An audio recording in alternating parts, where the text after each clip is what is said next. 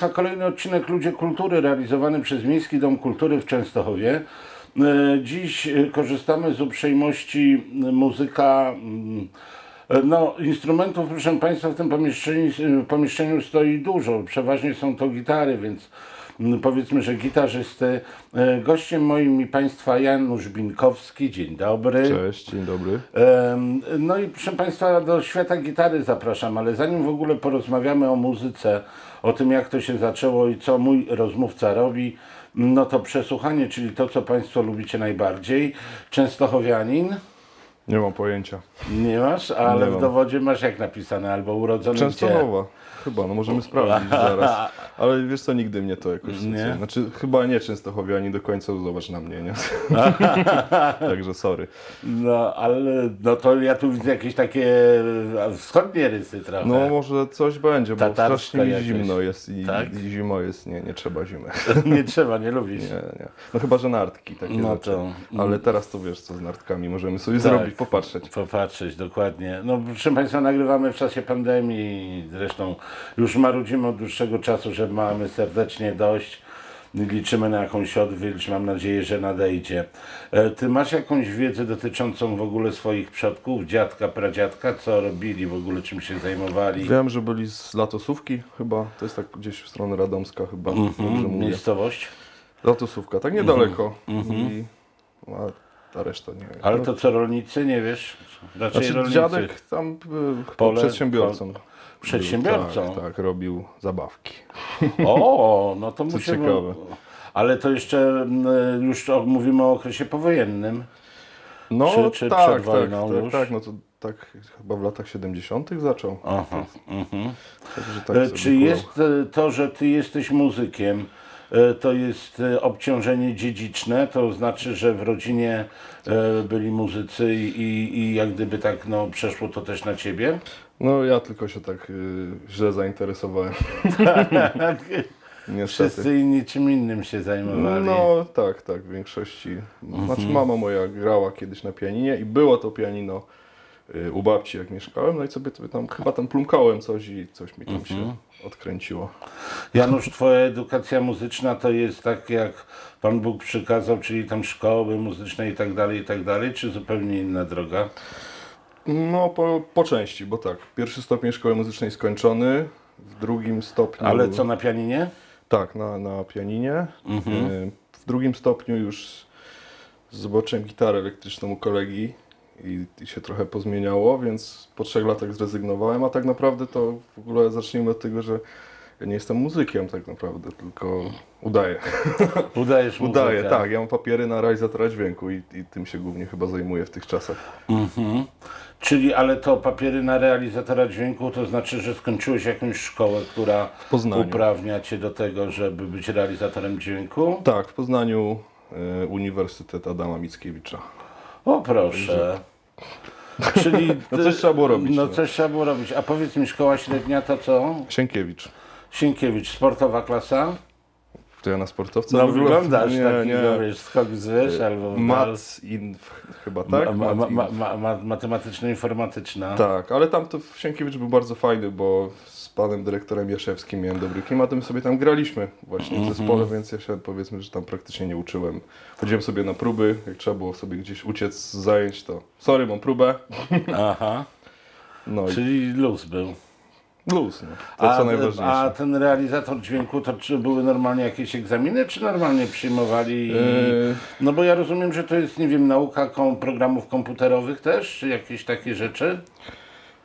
Tak, znaczy to pierwsze pytanie, czy normalnie przyjmowali? Byli, były egzaminy, Były egzaminy. Tak, za pierwszym razem się nie dostałem w ogóle. Poszedłem na AGH, na jakiś e, kierunek taki, który mi nie odpowiadał i po trzech tygodniach picia z kolegą wróciłem do domu. No. No i tak później jeszcze poszedłem na takie studium. Aha. No ale w końcu mi się udało, za drugim razem zdałem tam do, do tego Poznania i tam całkiem przyjemnie było. Za dużo się nie nauczyłem tam, ale, ale było fajnie. No ale to jest, żeby tak sprecyzować, ktoś, e, nie wiem, zwraca się do Ciebie, że chce nagrać płytę i ty jesteś odpowiedzialny za brzmienie tej płyty. Na, na, na czym mniej Są- więcej, na czym mniej więcej ten twój zawód polega? Jak, jakie masz, Są różne role od Tak. nogi, no bo... A jakiego masz joba najczęściej takiego z tym związanego? To tak, zacznijmy od tego live czy studio. Mhm. No live, no to wiadomo, że można być e, realizatorem frontowym, czyli kręcić dźwięk dla ludzi, można być realizatorem monitorów, czyli kręcić dźwięk dla muzyków. Można być też technikiem, czyli zwijać Mhm. kable. No tak, I, a w Polsce najczęściej jest się wszystkim naraz. tak, jedna osoba. tak, jedna osoba, bo wiadomo, że nie ma pieniędzy i to tak się jakoś Mhm. przyjęło. No a w studiu, no właściwie to ja nie mam takiej, nie, nie prowadzę takiej działalności. Oczywiście zdarzyło mi się zmiksować kilka albumów, czyli i nagrać też. Znaczy, Mhm. zacznijmy od tego, że tak naprawdę zajmuję się tym, czym się zajmuję, bo poszedłem do człowieka, z którym też robiłeś wywiad, do Adama Celińskiego. Tak, Po studiach. Tak, po prostu dostałem cynk, że on tam kogoś szuka i tak to robiłem takie jolo i poszedłem i już tam zostałem. To jest 7 lat temu to chyba było. Nie wiem ile się ma lat, jak się kończy studia. Ale to co, pracujesz cały czas u Adama? Znaczy czasami? teraz troszkę mniej, ale cały czas jesteśmy na, na łączach i cały aha. czas coś tam robimy, bo Adam jest też kreatywnym człowiekiem, ma milion pomysłów i, i, i się tak nakręcamy.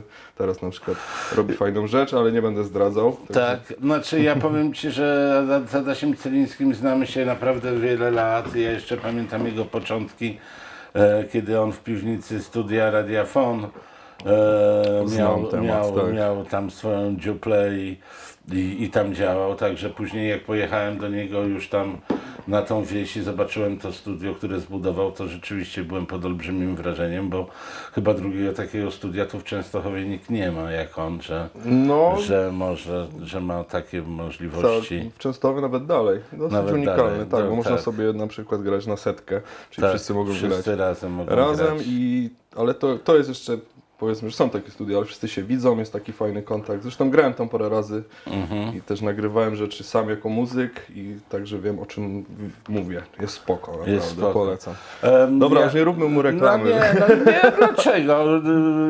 Y, Chłopak pracuje, Nie, no oczywiście. wiesz, Także serdecznie Adam Cię pozdrawiam, bo tak. bez Ciebie bym pewnie nie wiem kim został. no, oczywiście. Ja widzę bardzo dużo różnego rodzaju instrumentów, ale głównie no, to są gitary, ale jest gitara basowa i szóstka i widzę jakaś mandolina, jeżeli dobrze To jest mówię. y, dziewczyny mojej, Darii. Aha. Y, naj, najlepiej się czujesz na gitarze? Tak, y, jeżeli Znaczy- muzykujesz, to, to, to jest gitara?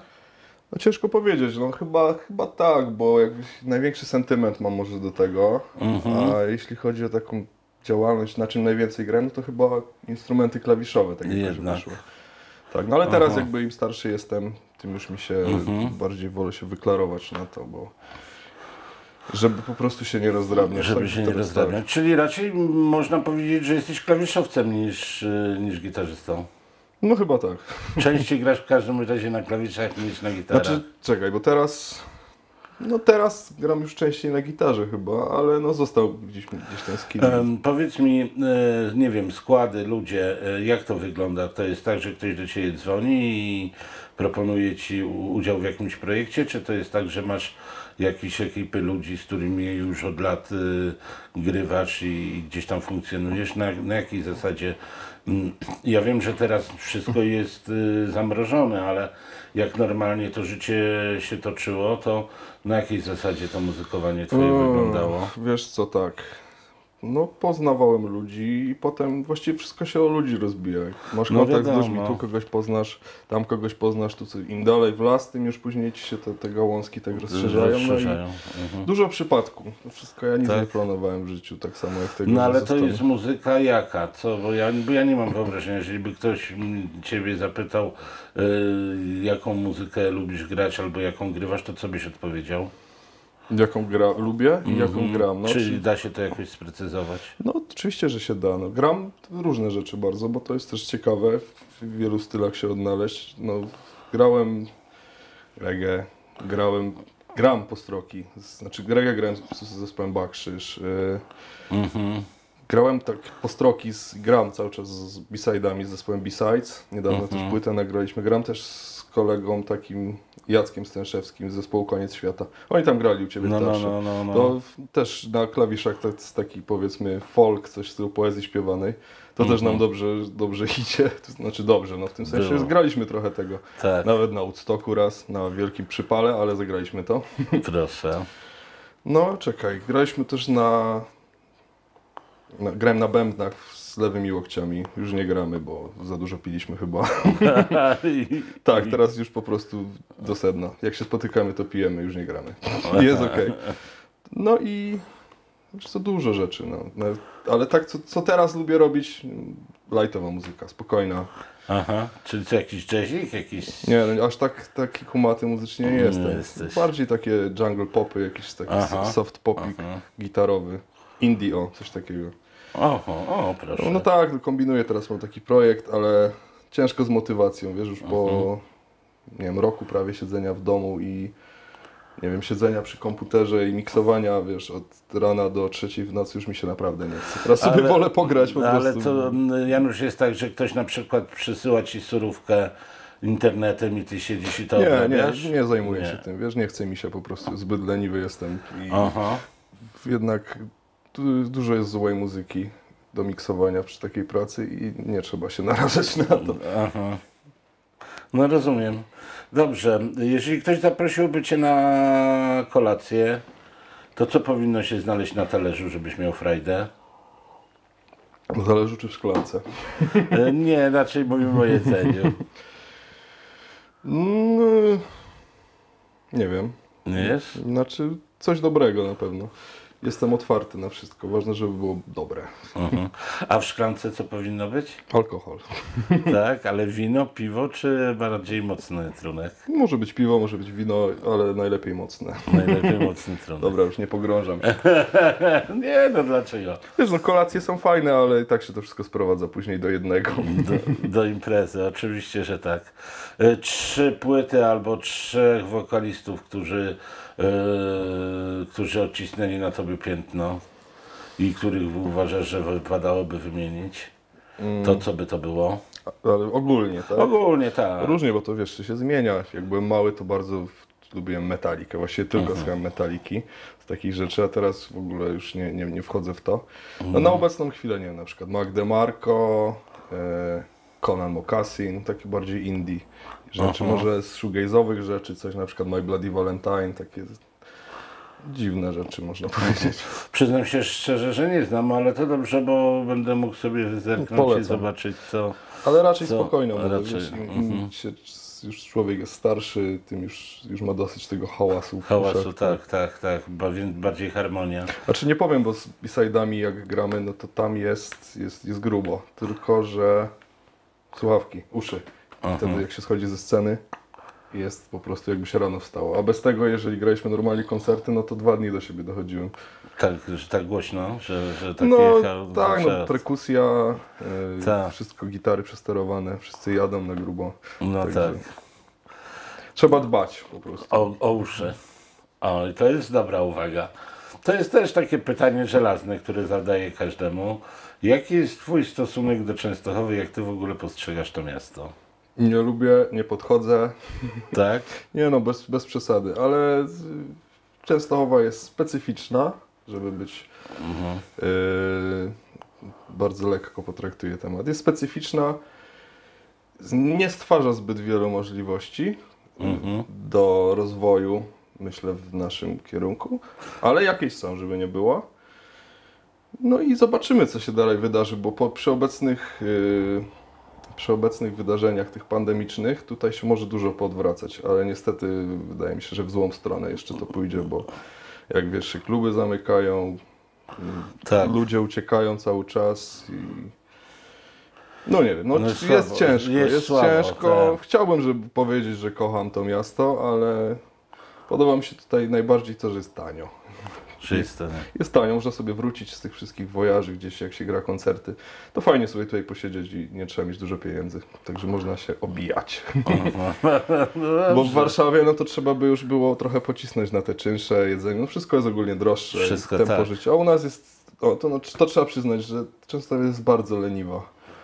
Wszyscy tutaj tak podchodzą sobie do życia tak na spokojnie. I to jest plus, bo No nie, ma, wiem, nie ma czy- co pędzić. Nie wiem, czy wszyscy, ale, ale rzeczywiście dużo osób jest, które żyje w tym mieście, a tak naprawdę działa na zewnątrz i bardziej jest widoczna i znana poza Częstochową niż w samej Częstochowie. No ale no to już No, dobrze, no nie będziemy narzekać, bo to, Nie, nie, bo no, to wiesz, trzeba tak nadzieję jak- mieć, że to się wszystko w pewnym momencie odwróci na plus i że, że odmrożą po prostu sceny, teatry i że będzie normalnie, że będzie można jeździć i grać. Dobrze, te wywiady nie mogą być za długie, e, dlatego ja zawsze proszę swoich rozmówców, czy byliby w stanie mi zaproponować kogoś do rozmowy, z kim jeszcze nie rozmawiałem. E, Czy ty miałbyś kogoś takiego z grona swoich znajomych, kto jest związany z tym miastem, ewentualnie tu z regionem, a z kim uważasz, że warto byłoby pogadać? E, Myślę, że mógłbyś porozmawiać z e, Kaflem, Robertem Kaflem. Nie wiem, czy go Robert. Kaffel? Nie. Robert Kaffer z zespołu Lewe Łokcie, on tutaj już długo głową w mur się przebija w tym Tak? naszym mieście. Ja chyba z nim nie rozmawiałeś. Nie rozmawiałem, z, nie. z Lewych Łokci. Teraz ma zresztą z kolegami taki fajny zespół noizowy, szorstkie się nazywa, bardzo fajne granie. Mhm. I nawet gdzieś tam wyjeżdżałem poza, poza Częstochowę, ostatnio Mhm. przed ścianką grali. Na przykład z Kamilem Klamą, też moim dobrym O, znajomym. też nie rozmawiałem. No, Klama też, też sobie do- dobrze radzi tutaj fajnie. No, No jest tutaj.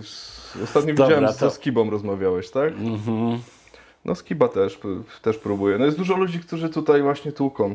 Próbujemy się przebić, próbujemy coś robić, bo w sumie trochę jest już za późno dla ludzi w takim w moim wieku, żeby się czymś innym zająć. No, Znaczy nigdy nie jest niby Znaczy, za późno, no, ale już za daleko się. trochę w las. Tak, umówmy się, uważam. to jest fakt.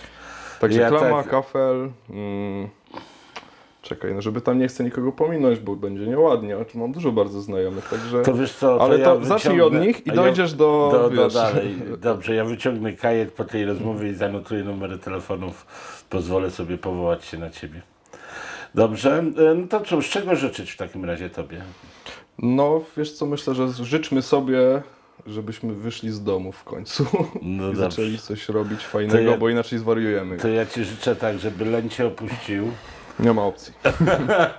żeby odszedł siną dal, żeby nas w końcu uwolnili, żebyśmy mogli po prostu pracować i działać i, i, i normalnie żyć, zarabiać na życie. Zdrowia ci życzę, bo bez zdrowia to nic nie będzie. Tak, oczywiście. No i w ogóle wszystkiego najlepszego. Proszę Państwa, tym nowym roku. W tym nowym roku. Proszę Państwa, e, gościem moim i Państwa Janusz Binkowski. E, Okazuje się, że e, przede wszystkim to realizator dźwięku, a dopiero później muzyk, który udziela się w różnych, e, przeróżnych składach e, i też na różnych instrumentach, żeby było ciekawiej. E, No co jest bardzo miłe. Jeszcze raz bardzo dziękuję za spotkanie. Dzięki wielkie. Możemy tam pomachać. Trzymajcie się ludziska, pozdrawiamy Was. Pa, pa.